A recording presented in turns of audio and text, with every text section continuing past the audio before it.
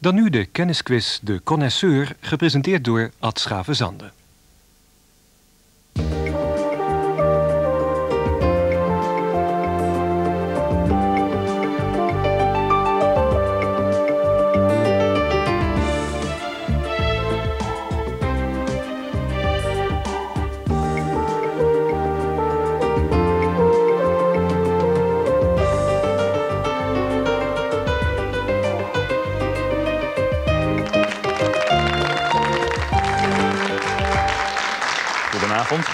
De 25e aflevering van de Connoisseur van dit seizoen.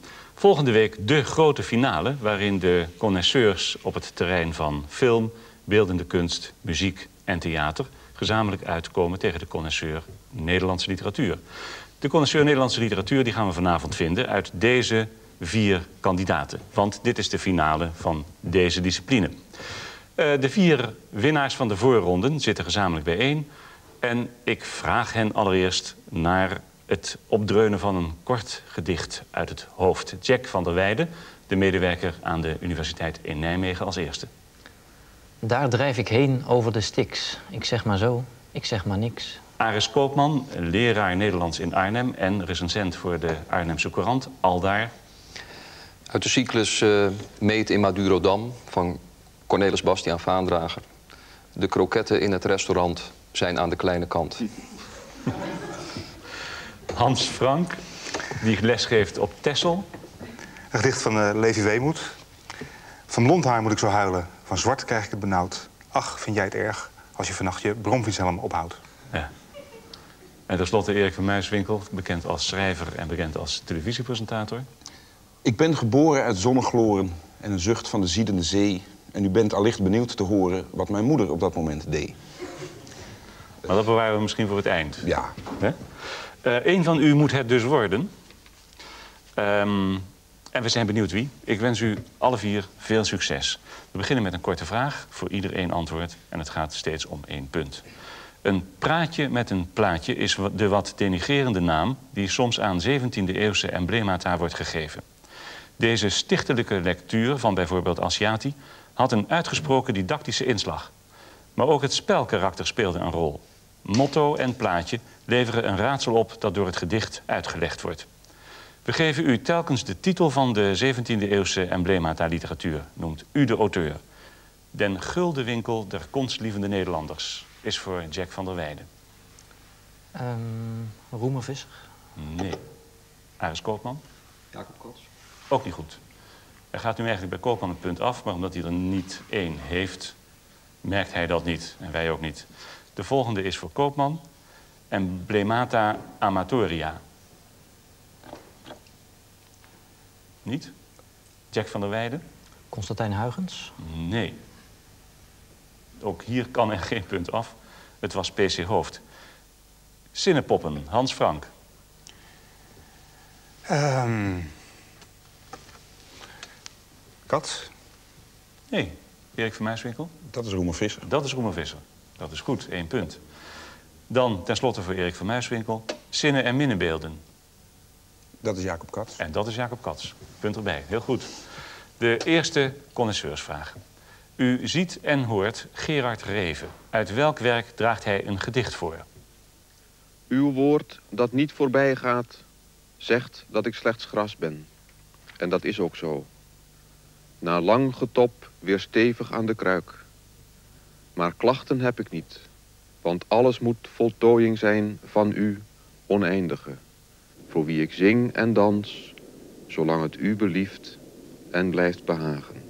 Jack van der Weijden heeft als eerste gedrukt. Nader tot u. Nader tot u is goed, twee punten erbij. Um, er zijn punten beschikbaar voor bijzonderheden en opbouw van dit boek. De bijbehorende schandalen, de discussies die er na de publicatie zijn ontstaan... en de datering bijvoorbeeld. En we starten bij Jack van der Weijden. Het uh, boek is uit 1966. Dat is goed, dat is een punt. En het is, een, uh, het is opgebouwd uit brieven. Mm, dat is onvolledig. Um, nou, misschien moet ik dan op een ander gebied mijn geluk proberen. Ja. Um, de brieven zijn uh, voor het eerst uh, gepubliceerd in het tijdschrift Tirade. Dat de is delen goed. van het boek ja. dus. Ja, één punt erbij. Aris Koopman. Gerard Reven is uh, geboren in, uh, in Amsterdam, in een uh, communistisch milieu. Um, hij, zijn vader was een vooraanstaand lid van de CPN. Ehm, heeft ook zelf geschreven onder de naam Gerard van Ter, of Van Ter. Gerard Reven heeft één geleerde broer, Karel van het Reven. Um, hij is school gegaan op het Barlees Gymnasium in Amsterdam. Dat is niet goed. Dan ben ik weg, geloof ik. Hè? Voorlopig wel. Goed, neem ik Hans Frank? Um, de thema's die hier voor bij Reven heel algemeen zijn, of tenminste die geval vaak gebruikt maar die in dit boek en de voorganger van dit boek op weg naar het einde uh, heel duidelijk naar voren komen. Dat zijn dus de homoseksualiteit, uh, de religie en ook het alcoholisme en het gevecht met alcohol. Ja, dat is een punt. Um, en de stroming waar de schrijver zichzelf indeelt. Hij noemt zichzelf wel romantisch decadent schrijver. Dat is ook goed. Nog een punt erbij. Erik van Muiswinkel? Nee, Van het Reven heeft uh, dus uh, na het grote succes van zijn eerste romans... Uh, van de avond en van de novelle Wet in Nieland... en het ondergang van de familie Boslowitz... heeft hij zich hervonden met die twee brievenboeken... terwijl hij in diepe nood zat en veel aan koning alcohol verschuldigd was. Die twee brievenboeken hebben een nieuwe roem bezorgd. Um, en ik meen dat er na, uh, naar aanleiding van Nader tot U... Uh, een discussie met uh, Peter Andriessen is gevolgd, ook in Tirade... Over, waarin Andriessen zich op het rationalistische standpunt stelde... en van het Reven één aspect van zijn wereldbeschouwing... namelijk de mystiek en het katholicisme. Ja, nee, voor de discussie met Peter Andriessen heb ik geen beloning. Ik dacht misschien als reactie op het boek. Maar dat is geen er zijn veel sterkere reacties geweest en daar heb ik wel punten voor. Um, dan denk ik toch dat in uh, Nader tot U... Uh, de scène voorkomt waarin hij uh, God beschrijft als een eenjarige muisgrijze ezel. Ja. Waar kamervragen over gesteld zijn. Ja waar een proces over is geweest waar Reven zichzelf heeft verdedigd. En waar uiteindelijk dat allemaal terug te vinden is in het boek De God van je tante van Jan Vekkes. Ja, dat is goed, dat is een punt. En Reven is uh, na die brievenboeken uh, is no nooit iemand geweest die heel makkelijk heeft geschreven. Al heeft hij zijn hele leven ook brief geschreven. Hij heeft gewoond, hij is vooral ook een verhuismaniak geweest. Hij heeft in Friesland gewoond, in uh, Greun-Terp. Hij heeft een, in Frankrijk gewoond, waar hij onder andere zelf zijn huis bouwde. Daar ook later het boek een eigen huis uh, aan wijde. Hij heeft in Schiedam gewoond. Hij heeft verschillende uh, vrienden gehad, uh, vaste vrienden. de laatste is Matroos Vos, die nog steeds zijn literaire nalatenschappen beheert. En hij leeft nog steeds. Ja, nou, hebben we toch nodig gehoord over het leven van de heer Reven. En dat betekent het tweede punt voor Erik van Muiswinkel. Jack van der Weijden? nou, ik kan een aantal opmerkingen van mijn buurman hernemen. Hij is geboren in een communistisch gezin. Uh, zijn vader heet ook Gerard van het Reven. Hij is oorspronkelijk heet hij dus zelf ook Gerard van het Reven. Maar hij heeft zijn naam laten veranderen in Gerard Reven. Uh, broer Karel van het Reven. Uh, na de oorlog gedebuteerd. Eigenlijk met inderdaad de familie Boslowitz en dood van mijn grootvader... die eerder geschreven zijn, maar hij kreeg de debuutprijs voor de avonden. De Tot nu toe heb nog niks nieuws gehoord. Vervolgens dus inderdaad weer aan Nieland. en de uh, tien vrolijke verhalen. Reven kreeg toen geen reisbeurs voor een uh, fragment dat hij inleverde. Van, of nee, hij kreeg geen beurs van het Fonds de Nederlandse Letteren. Daar was hij zo verbolgen over dat hij naar Engeland vertrok... en besloot nooit meer iets in het Nederlands te publiceren. Hij is toen begonnen in Engeland met het boek The Acrobat and Other Stories... dat later is vertaald als uh, Vier Wintervertellingen. Tot zover is het goed. Nog, nog een toevoeging over die levensloop? Um, dat hij uiteindelijk toch weer terugkeerde naar Nederland. En zijn carrière kon oppakken door weer die twee boeken. Uh, op weg naar het einde na tot u, waardoor zijn carrière weer een nieuwe stroomversnelling kwam... en hij niet meer miskend werd. Goed, nou hebben we het beeld compleet. Een punt erbij voor Jack van der Weijden. Goed. Um, dan wil ik nog iets vertellen over de vorm van het boek. Uh, brievenboeken is al een paar keer gevallen. Dat is inderdaad niet compleet, omdat het in feite geen echte brieven zijn. Ze zijn wel allemaal getiteld uh, als brief, bijvoorbeeld Brief in de Nacht geschreven. Maar in feite is het bekentenisliteratuur. En uh, zou je het dus ook tot het genre van de bekentenisliteratuur kunnen rekenen? Ja, maar wat ik al eerder mocht laten weten... het bestaat niet alleen uit... Nee, er volgen ook nog een aantal gedichten achterin... waaruit uit dat fragment net ook werd voorgelezen. En Juist. waarop die muisgrijze ezel. Ja, dat is goed. Dat is het punt wat met eh, deze informatie kan worden verdiend. Brieven en gedichten, daaruit bestaat nader tot u. Aris Koopman. Ik dacht dat eh, het ezelproces ehm, een gevolg was van een passage in het proza-gedeelte. Eh, waar eh, gecopuleerd wordt met, eh, met die genoemde muisgrijze ezel. Maar ehm, die ezel die komt in zekere zin terug in de afdeling gedichten... en met name in het gedicht Paradijs. Wat, wat een punt zou kunnen opleveren is informatie over het ezelproces. Hoe liep dat af? Wat gebeurde er? Ehm, ja, het, het ezelproces begon door eh, al de al genoemde Kamervragen vanuit eh, de hoek van de staatkundig gereformeerde partij. Eh, en dat liep voor Gerard Reven goed af. En dat was niet in het minst aan hemzelf te danken, want hij voerde zijn eigen verdediging. Ja. ja, dat is goed. Dat is een punt. Eh, over de stijl zou ik willen zeggen dat hij verheven is. En Reven is eigenlijk in nader tot u voor het eerst eigenlijk doorgestoten naar een eh, heel eh, typerende vorm van eh, archaïsch eh, taalgebruik. Ja, daar hebben we misschien wel een aardige illustratie van. Een eh, fragment uit een eh, VPRO-televisieprogramma. Ehm, ik stel voor dat we er even naar gaan kijken. Ik vind het alles eigenlijk een verschrikking. Ik vind het bestaan een verschrikking eigenlijk. En ik heb dikwijls voor een keuze gestaan. En de vraag is dus, ja, eh, je kan je eigen ophangen, je kan je eigen niet ophangen. En ik heb het besluit genomen om mijn eigen niet op te hangen. Ik moet nog wat werken. Eh, ik moet nog wat voort naar mijn eigen idee. Ja, het is het woord archaïs waarmee het punt voor Aris Koopman eigenlijk is binnengehaald. Eén punt erbij. We gaan naar Hans Frank. Eh, even aansluit bij, de, bij die stijl. Hij noemt het zelf, die stijl, het revisme. Die je beoefent. Ja. Nee. Nee. Erik van Muiswinkel. Ik eh, hoop dat het boek is opgedragen aan Angus Wilson. Is het zo of is het niet zo? Hij heeft zeker een, een van die boeken opgedragen aan Angus Wilson. Ik dacht dat het deze was. Nee, dat is niet goed. Dat is niet goed. Nee. Daar is wel nog een punt mee te behalen door iemand, maar niet meer door Erik voorlopig. Jack van der Weijden. Kan ik iets vertellen over de hoofdpersoon? Het wordt dus verteld in de ik-vorm, iedere keer. Het is dus een ik-verteller die voor een heel groot gedeelte samenvalt met de persoon Gerard Reven, doch niet geheel. Is waar, maar het is toch te weinig pikant om, eh, om er een punt bij te hangen, vind ik. Dan pas ik. An Aris Koopman? En misschien is het wel pikant om nog even op dat revisme terug te komen. Dat eh, eh, inderdaad in eh, Nader tot U eh, voor het eerst eigenlijk heel duidelijk gestalte krijgt. Dat is eh, de, de filosofie, de levensfilosofie bijna. met nogal masochistische trekken. die erop neerkomt dat de hoofdpersoon geen groter genoegen kan beleven door voor zijn levenspartner van hetzelfde geslacht zijnde, op, op zoek te gaan naar een meedogenloze jongen. Eh, en dan eh, die aan die eh, levenspartner aan te bieden en daar bij de aanblik van het liefdespel groot genot uit te peuren. Ja, heel goed. Dat is een punt.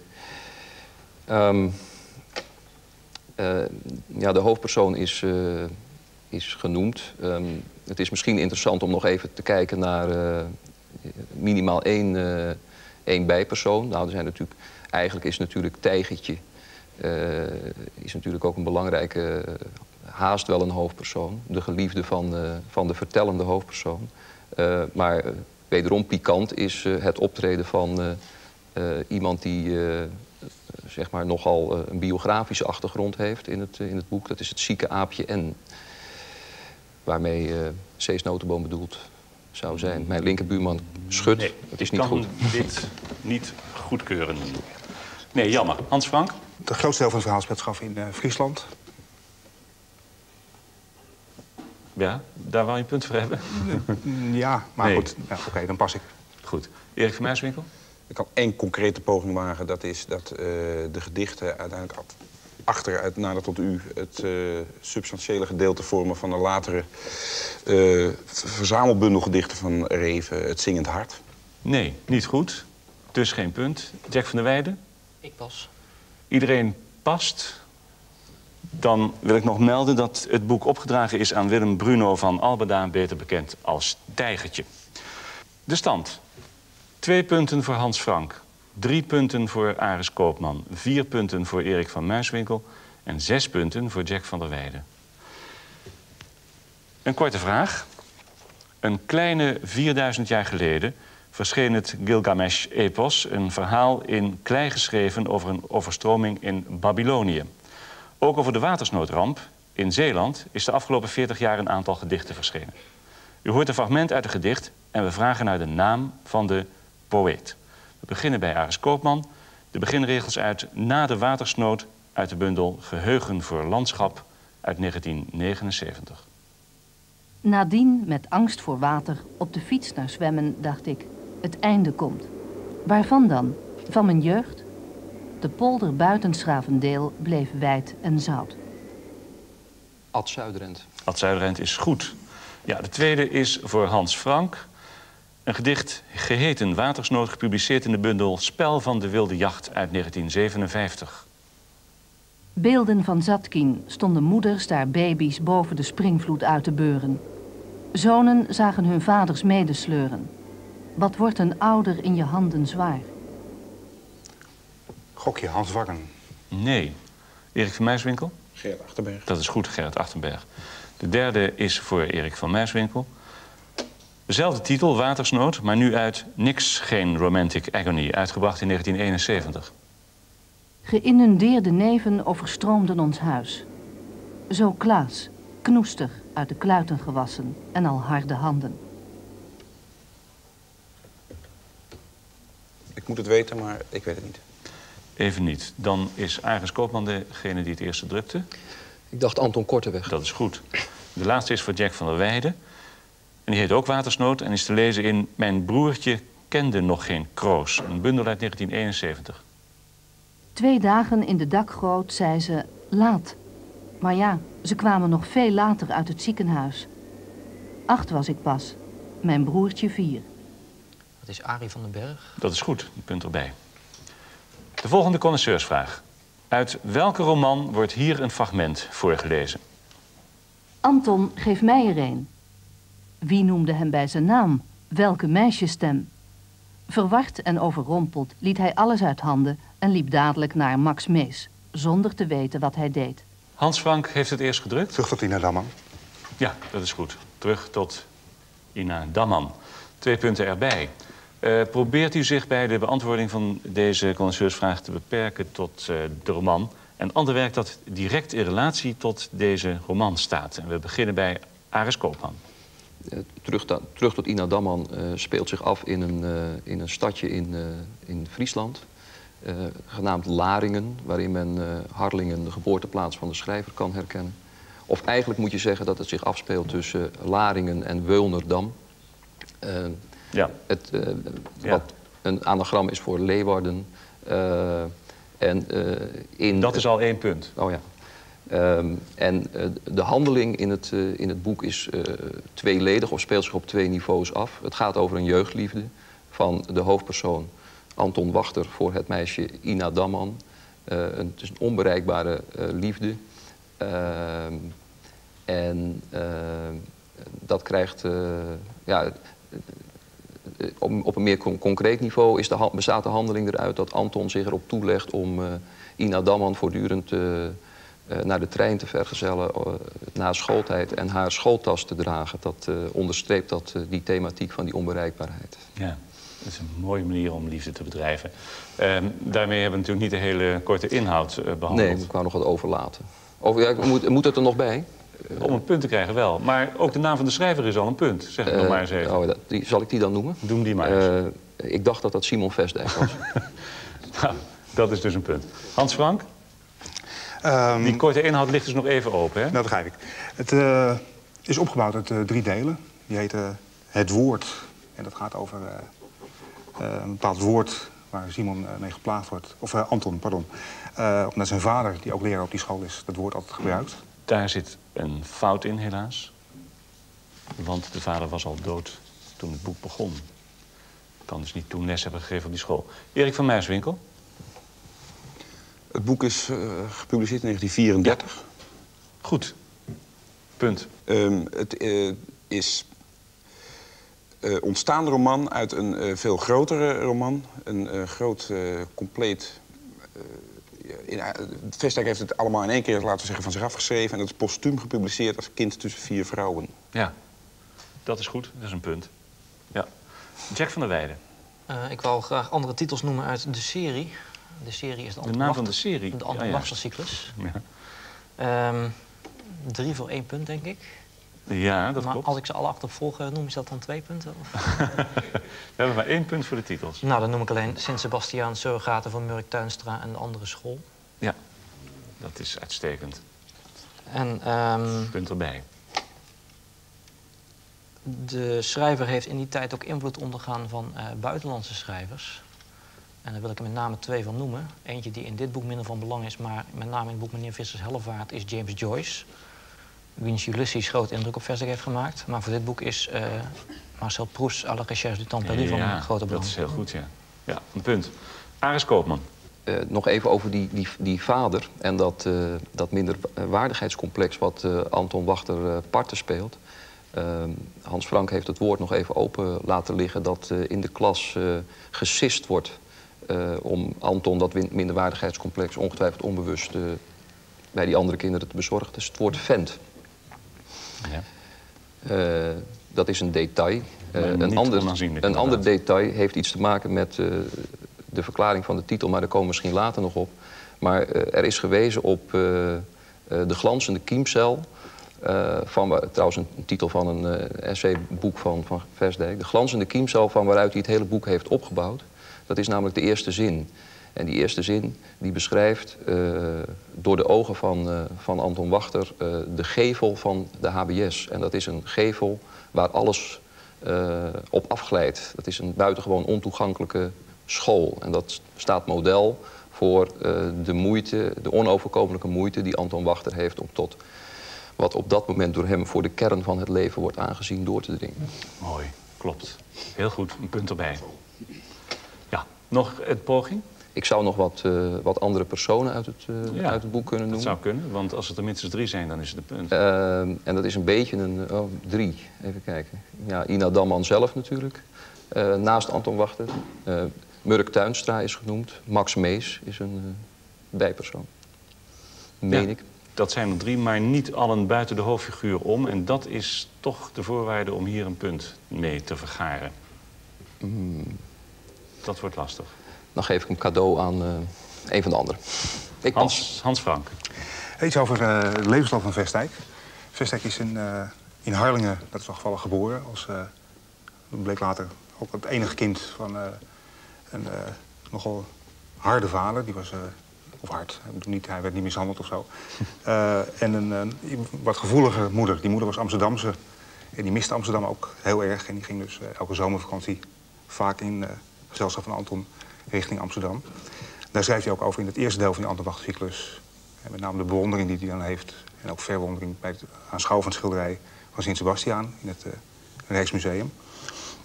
Ehm goed, ik moet, moet het wat korter maken. Ja? Ehm, hij doet de. HBS en hij gaat dan in Amsterdam medicijnen studeren. Hij eh, praktiseert als waarnemer zo enkele keren. Hij is één keer ook als scheepsarts op een reisje mee geweest. Maar hij besluit al gauw dat hij toch kunstenaar en met name schrijver wil worden. Hij was overigens liever, begreep ik later wel bekend geworden, componist of eh, muzikant, muziek, muzikus geweest. Eh, en dan wordt hij schrijver. Hij eh, zit bij die forumgroep. Hij schrijft vreselijk veel, over van alles en nog wat. En Zo'n zo, zo'n ongeveer 50 romans heeft hij geschreven. Heel en lang, ja. Ehm, dat is het eerste punt. Ehm, en ik meen, maar dat is misschien te weinig voor punt, dat het verhaal ongeveer één schooljaar duurde. Nee, Dan ben ik af. nee. Erik van Muiswinkel. Nee, ehm, ik pas. We kunnen hem ook afsluiten en naar een andere vraag gaan natuurlijk. Erik, past Jack? Ik wil nog een poging doen over de tijd eh, die het boek in beslag neemt. Ah, die kans krijg je niet meer, merk Helaas. ik. Ehm, ja, Reven en Vestdijk hebben ons aardig wat tijd gekost. En ons gebracht tot de stand 5 voor Hans Frank, 7 voor Erik van Muiswinkel, 8 voor Aris Koopman en 9 voor Jack van der Weijden. Het komt nu aan om de 12 finale vragen. Die zowel over film, theater, muziek, beeldende kunst als ook over literatuur gaan. En voor elke vraag die goed beantwoord wordt, komt er een punt bij. Voor elke vraag die fout wordt beantwoord, gaat er een punt af. Er is maar één antwoord mogelijk. Op dit schilderij van Salvador Dali is een legendarisch Amerikaans sekssymbool en filmactrice afgebeeld. Wie is zij? Jack. Mae West. Mae West is goed. Dit muziekinstrument, de zogeheten sarong demu, hoort in Indonesische orkesten die gebruik maken van authentieke instrumenten. Hoe heet zo'n orkest? Erik van Muiswinkel. Gamelan Orkest. Dat is goed. De schrijver Bordewijk, waarvan u hier een ets ziet, debuteerde in 1916 met paddenstoelen. Onder welk pseudoniem, dat hij tot het eind van zijn leven regelmatig gebruikte, gebeurde dat? Hans Frank. Ik Niet. weet het niet. Ton Ven. Deze voormalig artistiek leider van de Haagse Comedie regisseerde onder meer de musical Tsjechov en een televisieregistratie van de Gijsbrecht van Aamstel. Wie is hij? Jack van der Weijden. Ja. Gerrit-Jan Reiners. Nee. Eddie Habema, de broer van Cox. U ziet Lana Turner en John Garfield in een film uit 1946... gebaseerd op een roman van James M. Cain. In 1981 verscheen een remake van deze film... met Jack Nicholson en Jessica Lange. Wat is de titel van die film? Hans Frank. The postman always rings twice. Ja, dat is goed. Punt erbij. Van welk toneelstuk uit 1955 van Hugo Claus... ziet u hier een fragment? Ik wil chauffeur worden, iemand die, die voorin zit en die, die sturen mag en die rijden mag zo hard hij wil. Jack van der Weijden heeft als eerste gedrukt. Een bruid in de morgen. Dat is goed, een punt erbij. Dit kindsterretje maakte in de jaren 30 aan de lopende band speelfilms. Wie is zij? Erik van Muiswinkel. Shirley Temple. Dat is goed. Wat is de naam van dit operagebouw in New York? Of de naam van het gezelschap dat hier haar thuisbasis heeft? Eén van twee. Erik van New Muiswinkel. York Metropolitan Opera. Ja, Eh, Lincoln Center. Uitstekend, punt erbij. 10, 10 voor Van Muiswinkel en Jack van der Weijden. Aris Koopman 8, Hans Frank 5. Als er één schilderij in de kunstgeschiedenis is gepersifleerd... dan is het wel de Mona Lisa van Da Vinci. Wat is de Italiaanse officiële benaming voor dit schilderij? Jack van der Weijden? La Gioconda. La Gioconda is goed. Drie vragen nog. Deze Amerikaanse filmacteur met een Nederlands klinkende naam... speelde in de jaren 50 en 60 veel sinistere schurkenrollen... in westerns en misdaadfilms. Hoe heet hij? Eh, Lee von Kleef. Ja. Van Kleef. Lee van Cleef. Mag ook. Ehm, een punt erbij voor Hans Frank. Twee vragen nog. U ziet een portret van de schrijver Onno Zwier van Haren. Waar werd hij in 1760 van beschuldigd? Ik zal het onthullen. Incest. Met twee van zijn dochters. Dat was opmerkelijk omdat hij naast schrijver ook president van de Raad van State was. En dus een naam had op te houden. Maar hij is ook altijd blijven ontkennen. De laatste vraag. De componist die u links ziet was in Parijs kerkorganist... en was de leraar van onder meer Pierre Boulez en Karl-Heinz Stockhausen. Wat is de naam van deze componist die verleden jaar overleed? Hans Frank? Messiaan? Olivier Messiaen, dat is goed. Daarmee is deze aflevering gewonnen door Jack van der Weijden.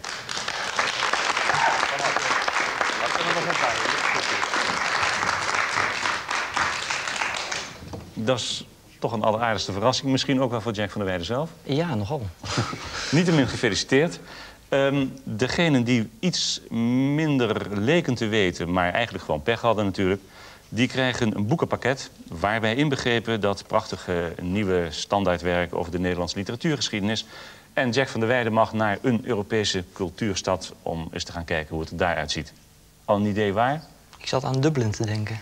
Is dat een cultuurstad? Voor mij wel. Ja, nou voor, de, voor de literatuur natuurlijk zeker. Ja, dat is waar. Daar wensen we in ieder geval veel genoegen.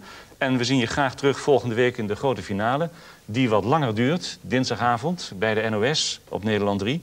Want dan eh, komen alle connoisseurs uit de verschillende disciplines bij elkaar in de Bakkergrond in Amsterdam. Om te bepalen wie nou eigenlijk de echte, de enige echte connoisseur van het seizoen 92-93 is. En ik zie u graag dan tot volgende week dinsdag. Goedenavond.